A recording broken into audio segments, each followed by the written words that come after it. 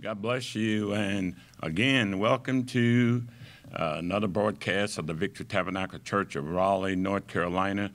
And we're certainly glad for another opportunity to come into your homes tonight and to share with you and to uh, talk with you uh, from God's Word that we might learn and grow together, that we might deepen our relationship uh, with the Lord Jesus Christ, therefore giving us strength to be able to face the crisis of life. Again, we thank you for allowing us to be a part of uh, your life at this time. And we know that it seems as though for many it may be hectic, but it's good to know that in the midst of these kind of circumstances and situations, we can have the peace of God and peace with God. Again, we thank you for uh, your kindness and your generosity towards us. And we thank you that you're letting us know that uh, this uh, broadcast is really being a blessing to you and to your family. And certainly uh, it is reaching others. And we thank God for you being a part of our evangelistic thrust uh, to reach uh, the world with a message of hope and a message of, uh, of deliverance and, and a message of salvation.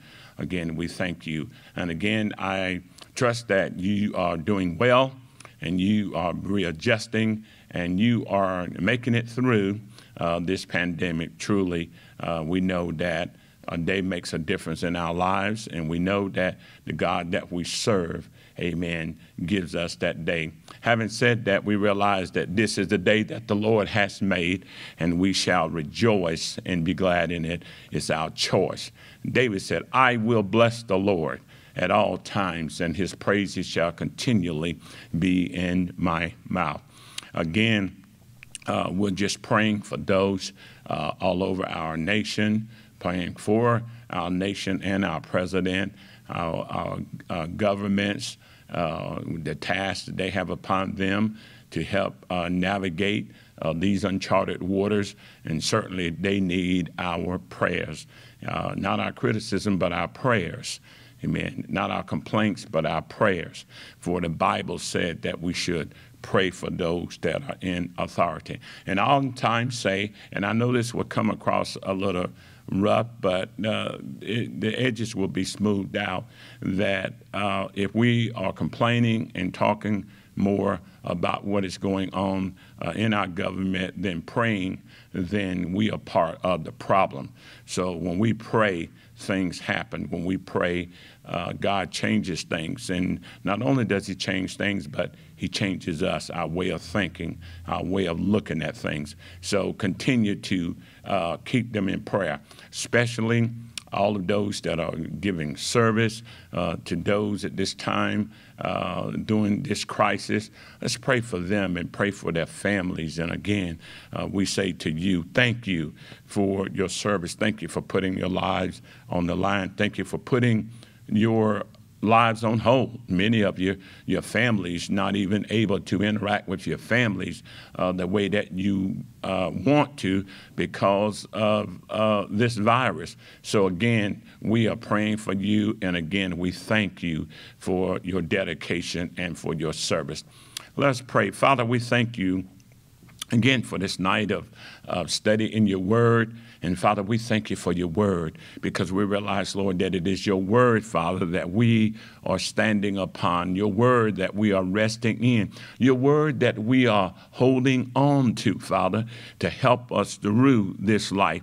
And God, we realize, Lord, that not just now have your word become important, God, but your word has always been important. Your word has always been the catalyst, Lord, to uh, help us through uh, the, the situations and the problems of life and the ills of life. Lord, we thank you for your word, and we thank you not just for your written word, but we thank you for Jesus Christ, who became the living word, the very image of you, Lord, letting us know and see through his life uh, what the word really says about you. And we thank you for being our God. We thank you for your Holy Spirit that uh, when your son Jesus left, He sent him, Lord, and that uh, you said that He would lead us and guide us into all truth. And we thank you for your Holy Spirit that strengthens us day by day. We thank you for your mercies. We realize it is of your mercies that we are not consumed. We thank you for your compassion that failed not. And most of all, God, for your faithfulness, God, because we realize that we're not always faithful, God. And Lord, we repent of that, Lord, and we humble ourselves before you. And we ask you to help us, God, to be more consistent, God, in our walk with you, be more faithful. We ask you to bless this study, bless those that would hear it, God. Help us to spread it in Jesus' name. Amen and amen. Well, we've been in this study and we've been waging a war on worry.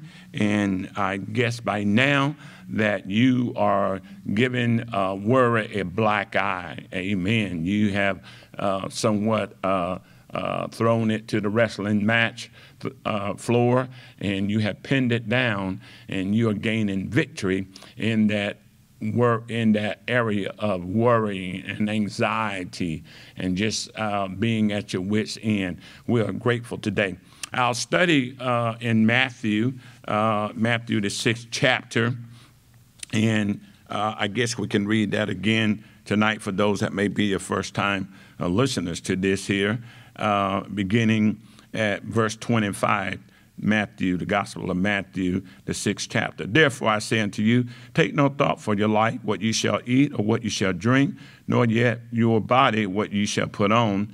Is not the life more than meat, and the body than raiment? Behold the fowls of the air, for they sow not, neither do they reap, nor gather into barns, yet your heavenly Father feedeth them. Are ye not much better than they? Which of you taking thought can add one cubit unto his stature? And why take ye thought for raiments. Consider the lilies of the field, how they grow. They toil not, neither do they spin. And yet I say unto you that even Solomon in all his glory was not arrayed like one of these. Wherefore, if God so clothed the grass of the field, which today is and tomorrow is cast into the oven, shall he not much more clothe you, O ye of little faith?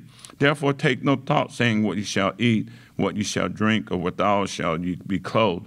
For all of these things do the Gentiles seek, for your heavenly Father knoweth what ye have need of all of these, knoweth that ye have need of all of these things. But seek ye first the kingdom of God and his righteousness, and all these things shall be added unto you. Take therefore no thought for tomorrow, for tomorrow shall take thought for the things of itself. Sufficient unto the day is the evil thereof. So again, We've been just walking through this study, and we, are hoping that it's being helpful to you. And on last week, we talked about that uh, uh, worry is something that pulls us apart. Worry is something that suffocates us, that strangles us.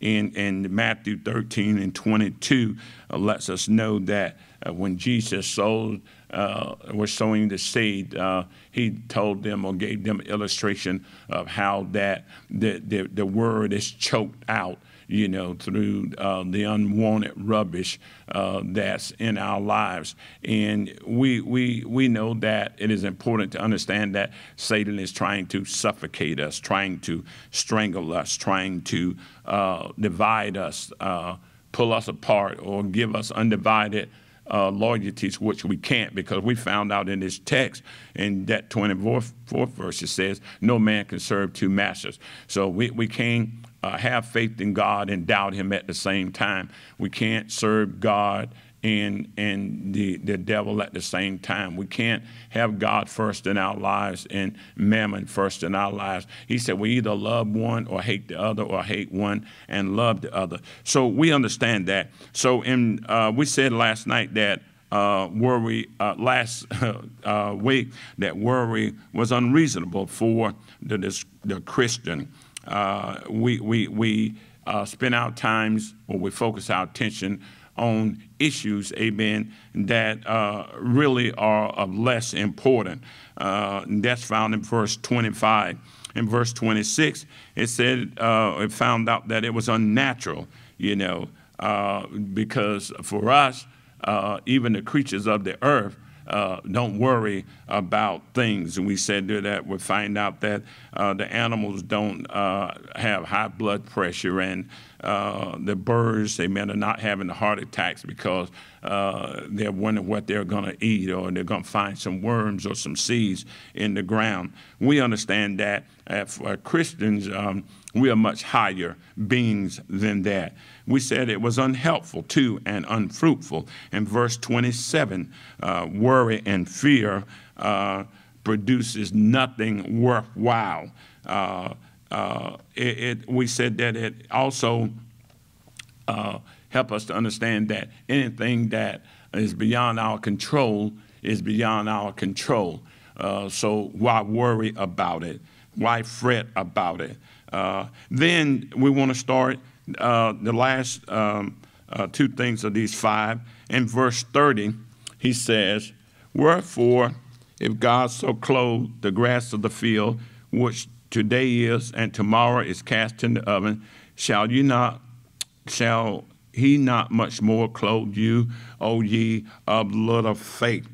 So, verse 30 lets us know that worry is unnecessary and it's unbecoming to a Christian. It's unbecoming to a covenant child of God because God promises to take care of us. Amen. He promises to supply all of our needs according to his riches and glory. So when we are in the kingdom of God, we have a king who is able, amen, to meet all of our needs. And that was one thing that the king was noted for back in those days, that uh, in his providence, in his kingdom, that he had everything under control. Whatever he uh, needed, he had access to it. And he always was the go to person when there was a need. And we ought to think about if an earthly king can have that kind of power, if an earthly king can have that kind of resources, if an earthly king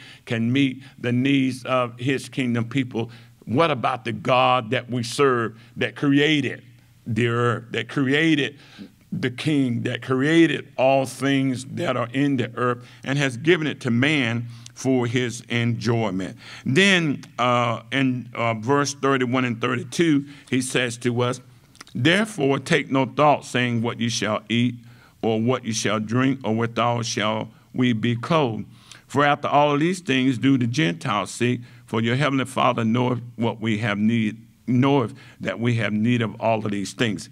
Last but not least, he says it puts us in a place of unbelief. It, it, it puts us in a place, uh, he identifies with the Gentiles, with the world. The world is frustrated. The world is panicking. The world is full of anxiety. The world is worrying itself uh, to an early grave. The world, amen, act as though, amen, that they do not have a source to go to. And Jesus is making it clear that we as children of God should not have that that should not be a part of our lives. He makes it clear, amen, that that we're acting as though that God does not exist. We're acting as though that we do not have a daddy. We're acting as though God is limited in what he can do, what he can provide.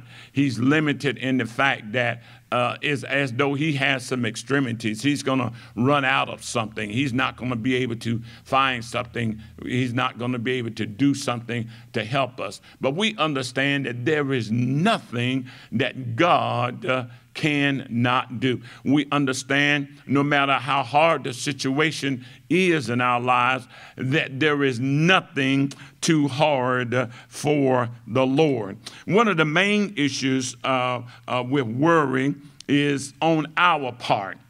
I say it's on our part. Uh, now, we can contribute to a lot of things and we can pass the buck and say, well, it's because of whoever it may be my children, uh, my supervisor, my job, or, or my church, or whatever. But, but, but the reason uh, for worry, amen, is that the most part it, the issue lies with us.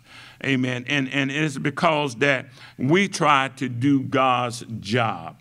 Now, that's, that's one of the things that we want to make clear here uh, tonight is that anytime you try to do God's job, you take on a responsibility, amen, that you cannot carry out. Yes, and worry, worries because we try to do God's job. But we got to remember that God is able to do his job. And we're going to uh, stay in our lane, as we say today. We're going to leave God's job up to him. Let's go to Isaiah 40 because we want to build this case uh, uh, for uh, putting our trust in God and because that's what this study is all about as we uh, wage um, war on worry, is that we begin to trust God. We begin to lean on God. We begin to put our faith in God. One of the things that will help us in that area of, of, of, of putting our trust in God, putting our faith in God, leaning upon God, is that we understand who it is that we serve. We understand who is this God that we call our Father, that we call our Daddy? Who is this God that speaks to us and tell us, take no thought, don't worry, don't be anxious. I mean, don't don't don't get in a frenzy about things, uh, but just know that He is able uh, to take care of us. So let's talk about this God because when the Bible says that faith cometh by hearing, and hearing by the word of God. So let's kind of walk through a few verses in chapter 40 to help us get a good uh, uh, hold on this God that we serve. Let's begin, amen, at verse 12 and go through 18. Who have this is the God that that that you are putting your trust in. This is the God that you are relinquishing uh, your hold on things to and giving it over to Him. This is the God that you're saying that, okay, He's got this. He, he, he, he's he, he, he's going to handle this. He's going to fix this. He's going to work this out. And, and if God's going to do it, there's no use to me trying to put my hands on it. There's no use of me trying to hold on to it. There's no use of me trying to wrestle with it and leave sleep over it because he's well capable.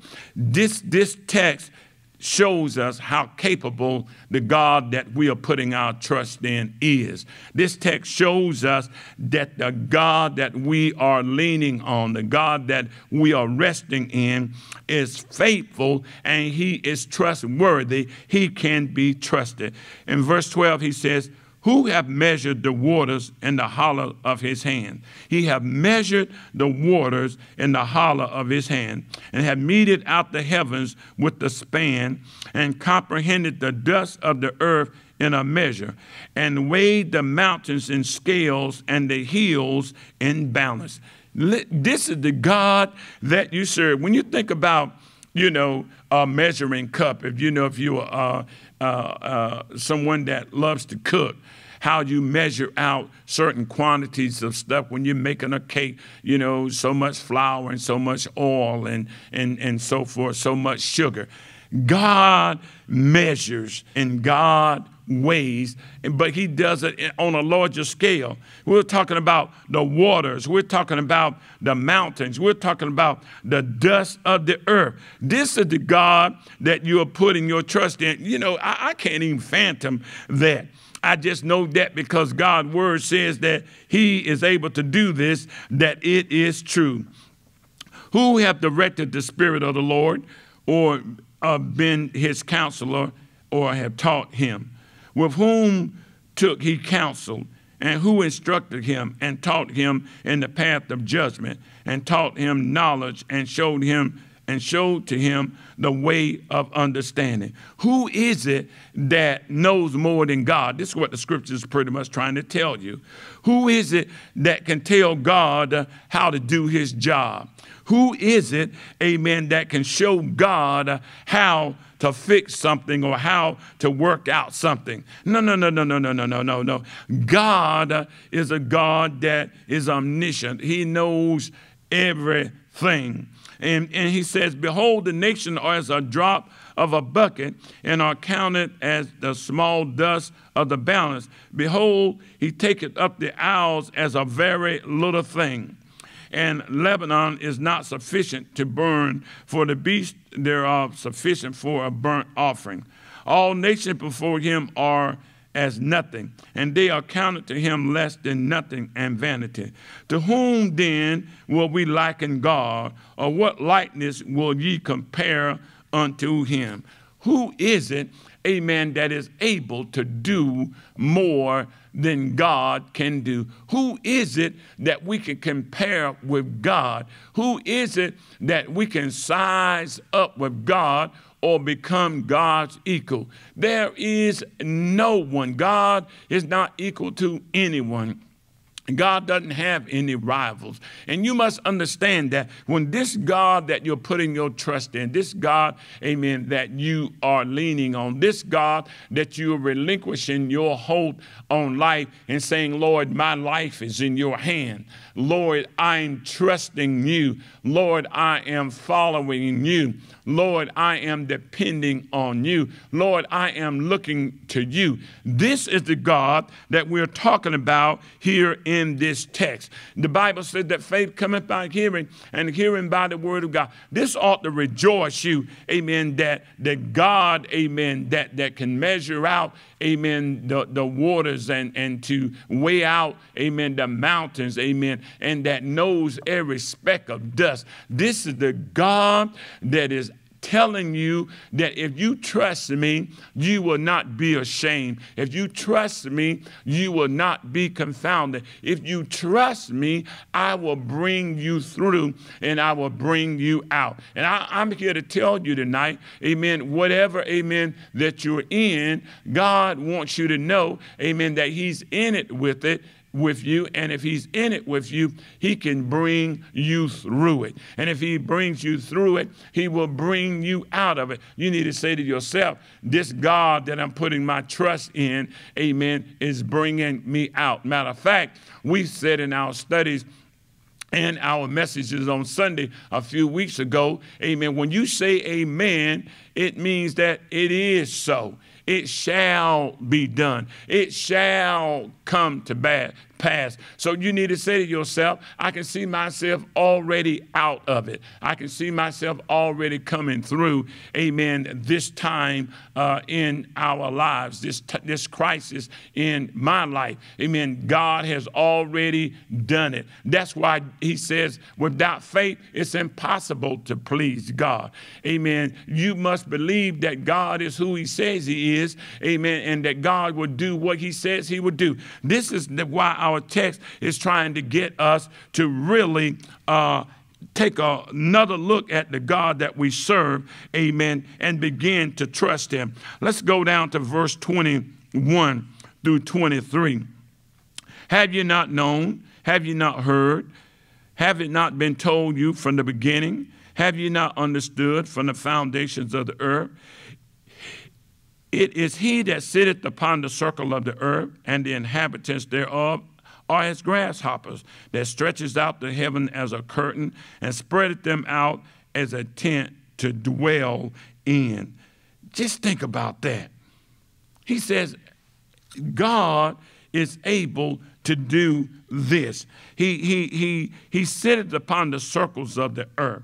Now, as the old folk used to say, he's high, but he, he looks low and, and, and the inhabitants of the earth as, uh, as grasshoppers. He stretched out the heavens like a curtain. You know, this is the God that is trying to tell you, amen, that he's got this. He's working it out. He's fixing it. He's, he's doing something uh, unknown to you, unseen by you. Matter of fact, he said in his words that our eyes have not seen, nor our ears heard uh, the things that God, amen, has planned for us. But then he says to us, he reveals them to us by his spirit. He reveals them to us through his word. But it takes faith to be able to see the unrevealed, the unseen. Verse 25 says, To whom then will you liken me, or shall I be equal, saith the Holy One? He says, Lift up your eyes on high, and behold, who have created these things. Bringeth out the hosts by numbers. He calleth them all by name, by the greatness of his might. For he is strong in power, not one faileth. Why sayest thou, O Jacob, and speaketh, O Israel, My way is hid from the Lord, and my judgment is passed over from my God? Hast thou not known, hast thou not heard, that the everlasting God, the Lord, the creator of the ends of the earth, fainteth not, either is weary, there's no searching of his understanding. This is the God that is saying to you, that why are you worried? Why are you full of anxiety? Why is it that you're at your wits' end? Why are you saying that now that this God has been described to you uh, uh, in a way that you understand uh, his power, you understand his capabilities, you understand his matchless abilities. And he says, now that he, you know, he weighs out the mountains and and and he knows how many specks of dust it is in the earth. I mean, he, he holds the rivers, you know, and the oceans, you know, in the hollow of his hand. This God says, now I stretch out the, the, the, heavens like a curtain. You ever get up in the morning, you know, and you open your curtains up and you let the light in? God says, that's how I stretch out the heavens. I, what a mighty God we serve. Amen. That can just stretch out the heavens like that, like you open up your curtain. Then he says to you, he says, now, what is your problem? Problem? You know, is your way hid from me? Is your problem hid from me? Why are you saying that I have forgotten about you? Why are you saying that I'm not concerned about you? You need to understand that, that God, amen, is able to do uh, these things for us. And, and so the reason we worry is we try to do God's job. And last but not least, we assume the responsibility for something that God did not put on our plate. Let's go to 1 Peter. 1 Peter. And, and see, can we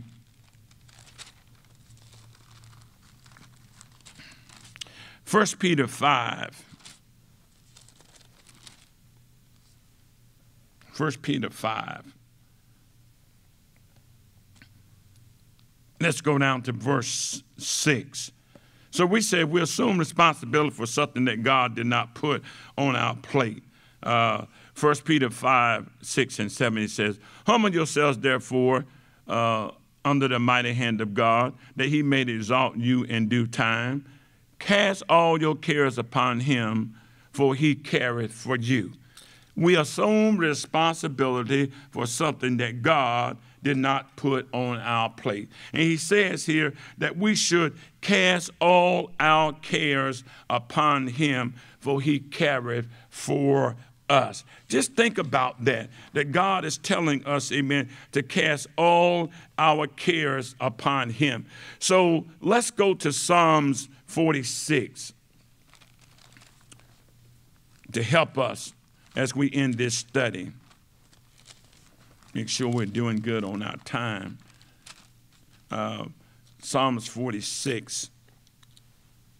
Listen, listen what the psalmist says here, uh, beginning at verse 1. God is our refuge and strength, a very present help in trouble. God is our refuge and strength, a very present help in trouble. You know, if you ever notice uh, how that a lot of people that of importance, uh, and, and even the president, he has an entourage, uh, and, and these are uh, his uh, security personnel, his personal security. Think about that. Think about that. You know, you look out there and you see all of these cars when the president's going somewhere, you know, and and and they're lined up. They shut down the freeways when they come into town. Amen. They got police parked everywhere, making sure, amen, that he's protected. God is saying uh, to us that I am your refuge. I am your personal security. I am your personal protection. Amen. Refuge, this word refuge uh, means to flee from worry, it means to flee to peace. To flee from worry is one thing, but to flee to peace is another. You know, you know, a lot of people say, "Well, I'm not going to worry about it," but then they don't have no peace. But when God is your refuge, you can flee from worry and flee to peace. Refuge, a, a safe place, a protected place. Refuge, a higher place out of the reach, amen, of harm and danger of the enemy or any other thing that was threatening our well being. Not only is it a hiding place, not only is it a place of protection, our refuge is, but it's high out of the reach of the enemy, those that would threaten those that are in it. That's what God is trying to tell you. Not only am I your refuge, not only am I your protection, not only I'm your personal security, but I am, I have you in a place way above where your enemy can get a hold of you, way above where your enemy can uh, destroy you. Matter of fact, he says, No weapon that he formed against you will prosper. Not that they won't be formed, not that he won't try, not that he won't cause confusion and mayhem and chaos, but he said it won't prosper. Now, it wouldn't. It, the, the reason he tells you it won't prosper is because when you trust him, when you don't worry about it, when you uh, cast your cares on Him, when you put it in His hands, God takes hold of it, and you don't have to worry about what the enemy doing coming to fruition. Matter of fact, uh, Joseph said he can mean it for evil, but God will work it for your good. God will work it in your favor. What a mighty God we serve. He said, God is our refuge and a very present help in trouble. Amen. That, that word help means to aid, it means to assist. Hebrews 14 and 16 says, Let us therefore come boldly to the throne of grace, that we may obtain mercy and find grace to help aid, aid in the time of need. Amen. And, and God is trying to help us to understand that He will aid us in the times of our anxiety, in the times of our worries, in the times of our frustration. He said He's a very present help. That word very there is the same uh, Hebrew word that often the scriptures you quote that God is able to do exceeding and abundantly above all that you can ask or think. That word very is exceeding. God is able to exceed your expectation. God is able, amen. He, he, he is a very present help. He, he will exceed the situation with aid, amen, beyond what you need, beyond what, what you think that you need to get through, what you think that you need to help you. God will do that, amen. He, he, he helps us to understand, amen, that, that because He is, that, that we don't have to worry. A very present help in trouble. Therefore, I will not fear. In other words, he, he the, the, the writer here said, I found God to be everything that he said he would be. I found God, amen, to come through the way that He said He would come through. He's a very present help, amen. It's emphatic that He has proven Himself. That's why in Isaiah 41 and 10 it says, Fear thou not, for I am with thee. Be not dismayed, for I am thy God. I will strengthen thee, yea, I will help thee. I will uphold thee. Yes, I, I will I will uphold thee with the right hand of my power. So we understand tonight Amen. That God is our refuge. He's a very present help in the time of trouble. And as I close, notice what he says here. He says that uh, the Lord of hosts is with us, and the God of Jacob is our refuge. There's that word again. He is our personal security, our personal protection in this Christ. Come behold the works of the Lord, what desolation he hath made in the earth. He maketh wars to cease unto the ends of the earth. He breaketh the bow and cutteth the spear in sunder. He burneth the chariots in the fire. Be still and know that I am God. I will be exalted among the heathens. I will be exalted in the earth. The Lord of hosts is with us. The God of Jacob is our refuge. There's that words again. He's our personal security.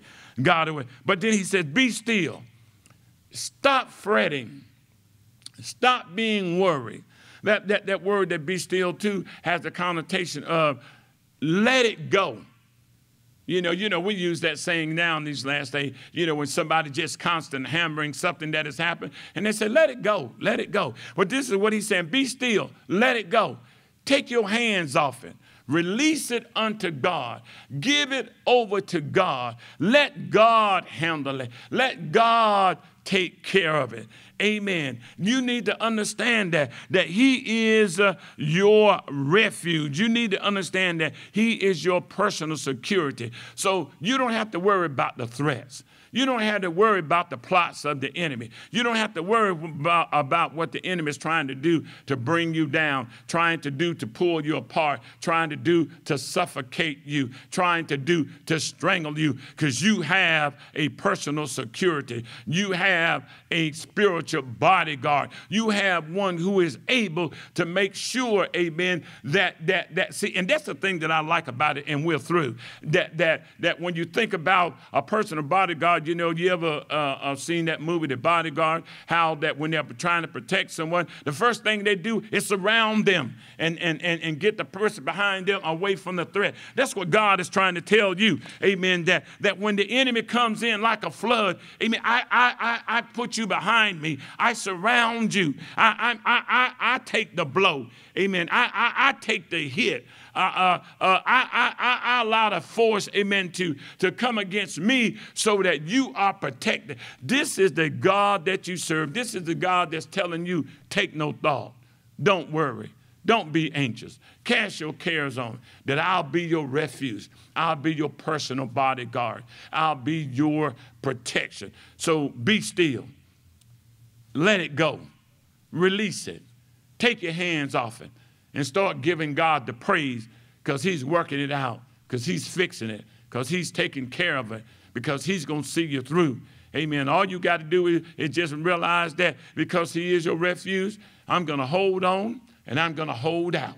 Yes, I'm going to hold on and I'm going to hold out. You didn't make that decision tonight. No matter what I deal with, I'm going to hold on and I'm going to hold out. No matter what I go through, I'm going to hold on and I'm going to hold out. No matter what comes my way, I'm going to hold on and I'm going to hold out. I'm going to see the salvation of the Lord in my life. Let us pray. Father, we thank you again for helping us to uh, wage war on worry for helping us, oh God, to understand, Lord, that you, oh God, is well capable. You, oh God, is well able to take care of us.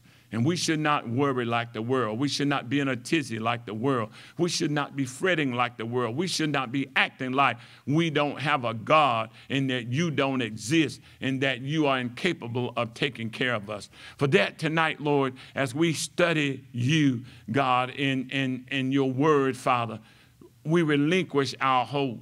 We be still. We let it go. We take our hands off it. We release it unto you, Father. And now we rest in your love. We rest in your capable hands. We rest in your safety. We rest, oh God, in the safety of you being our refuge and our protection. And Father, we ask you tonight, Lord, if there's someone out there, Lord, that don't know you, Father, and the pardon of their sins, Father, Lord, that they would just let it go. Be still and realize, Lord, that you are able, God, to save them. You are able to bring them out of whatever they're in, whatever they're going through, whatever they're dealing with. All they have to do is just come to you by your word. Father, you said, Lord, if they would just confess you as, as Lord and as Savior, if they would just confess with their mouths and believe in their heart that you died for their sins and God raised you from the dead, they shall be saved. You told them, Whosoever calleth on your name shall be saved. And tonight, Lord, help them repeat that prayer, God, and by faith believe you and receive you into their lives, God, so that you will be their refuge. We ask it in Jesus' name. Amen. God bless you. We hope that you have uh, been blessed tonight in this study as we wage war on worry and realize that God is your refuge. He's your personal security, your personal bodyguard, and God will take care of you. We'll see you on Sunday morning if God should tarry and I should live and be in my health and strength for another word from the Lord. God bless you tonight.